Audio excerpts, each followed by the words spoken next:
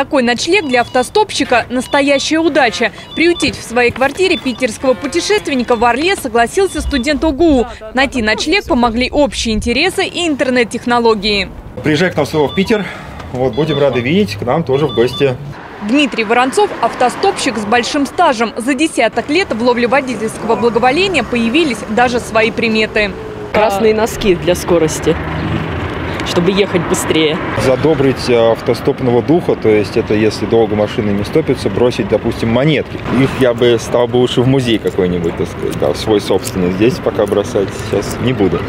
Коллекции Дмитрия позавидовал бы не один нумизмат. Пополняют ее и друзья-автостопщики, и водители разных национальностей. Для меня все-таки главная достопримечательность – это люди.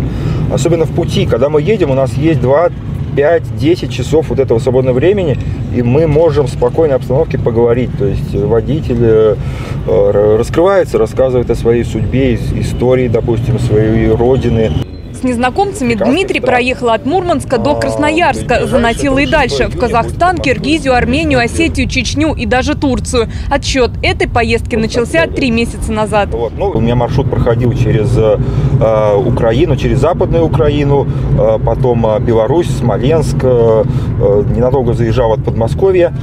Путешествовать одному удается нечасто. В этот раз, к примеру, увидеть литературную столицу пожелала единомышленница из Воронежа. Автостопом Анастасия уже добиралась и до Байкала, и Дальнего Востока.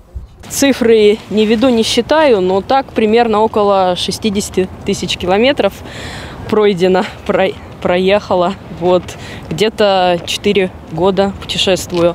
В зависимости от направления меняется содержимое рюкзака. В путешествиях же с попутчицей меняется его вес.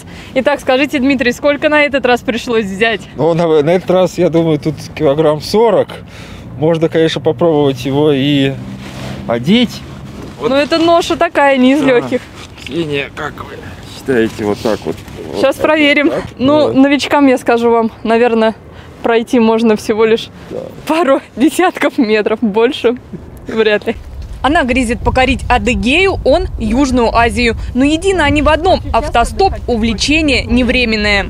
Автостоп – это такое более эмоциональное, более э, такое погруженное проживание именно самого путешествия. То есть это действительно не покатушки, а это вот способ науки и способ познания мира. После Орла их пути разойдутся. Анастасия отправится домой в Воронеж, Дмитрий дальше, в Смоленск. Домой в северную столицу он вернется лишь через несколько месяцев.